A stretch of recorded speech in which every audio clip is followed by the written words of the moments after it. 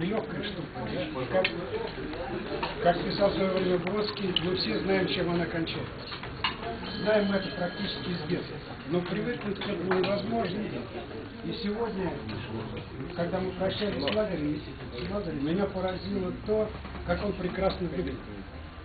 Это такой лежал библейский пророк. Человек абсолютно спокойный, каким он и был в жизни, выдержан, точная формулировка, доброжелательный и мужественный. Это было замечательно с ним общаться.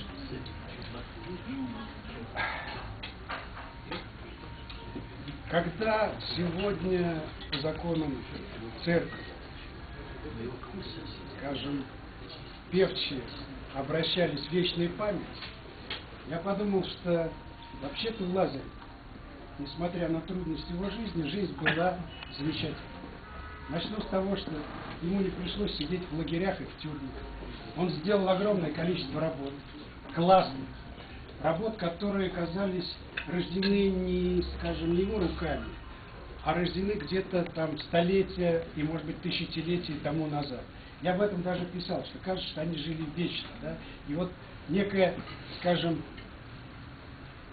образ такого библейского пророка у него был и при жизни, не только сегодня, который мы видим. Да? И работы у него были такие же. И говоря об этом, я хочу, чтобы все помнили о том, что уж кому-кому, а Лазарю, э, скажем, вечная жизнь его работы обеспечена. Обеспечена. И то, что сегодня Юра Чернов сказал по поводу того, что они еще будут скажем, снова открыты, это точно. Я только еще раз могу сказать на прощание, что я был счастлив, что у меня был такой друг. И я счастлив, что у него такие родственники. Я счастлив, что у него такой замечательный сын. Спасибо большое.